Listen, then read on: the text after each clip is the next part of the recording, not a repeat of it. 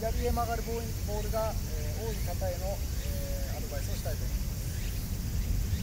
左に曲がるということはインパクトで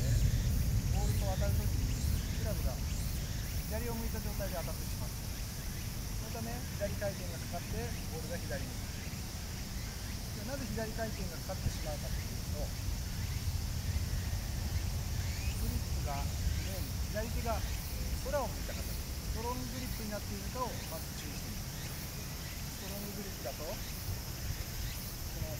インパクトでこのように左を向いた状態になってしまうことがあります。そのため少し行かないように注意しながらそ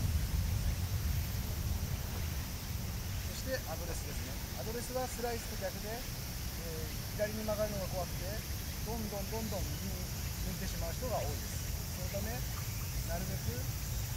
球線と平行にまっすぐもしくは少し左を自分で向くぐらいの感覚がちょうどいいのかと思います。そして打ち方としては手首をこのように折って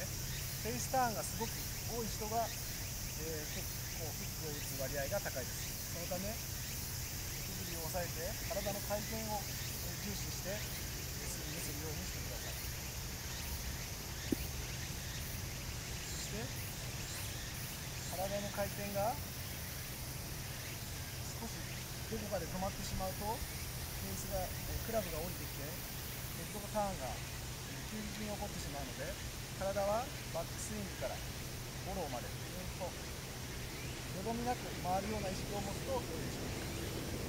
では